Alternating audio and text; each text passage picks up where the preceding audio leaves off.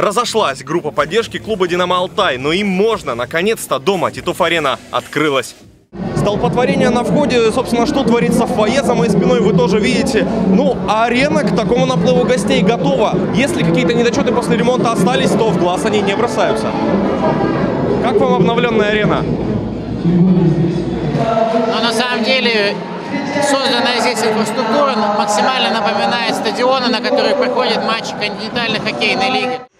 Фанаты в восторге. На арене «Аншлаг», как и обещали организаторы. Световое шоу в честь открытия. И вот команды на льду. «Динамо Алтай» против «Юниора» из Кургана. В первом периоде хозяева шли вперед и открыли счет, когда до конца отрезка оставались секунды.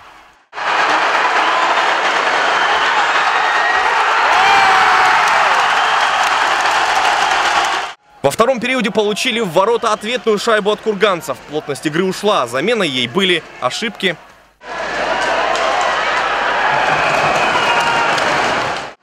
Спортсменов можно понять, какая ответственность. Наконец, полные трибуны и открытие домашней арены. Кстати, с последней не все гладко. Так вышло, что рядом с нами за игрой следил инспектор матча. Давать интервью отказался, но за кадром рассказал. Недочетов у дворца множество. За ночь до встречи устранили порядка 50, а арбитры подадут 8 замечаний только по организации игры. По словам инспектора, с таким за все время работы сталкивается впервые. Алтай умеет удивлять.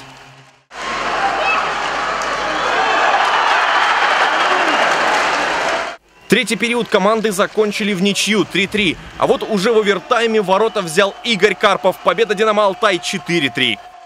Игра очень напряженная. Атмосфера очень понравилась. Болельщики нас гнали вперед. Надеюсь, мы не оплошали, им понравился хоккей. Ребята переволновались. Сказывается мандраж, появилась неуверенность. То есть пропускаем легкие шайбы, свои трудовые с мясом. Приходится завозить туда буквально. То есть очень тяжело даются голы потом.